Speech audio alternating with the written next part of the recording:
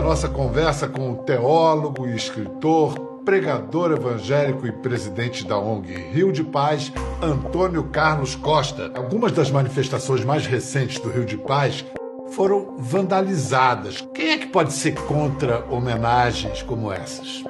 Aqueles que identificam a defesa dos direitos humanos, o combate à desigualdade social, o protesto contra o abuso de autoridade como bandeiras comunistas. A aliança que os evangélicos fizeram com Bolsonaro representou o maior golpe desferido contra a credibilidade da igreja em toda a história do protestantismo brasileiro.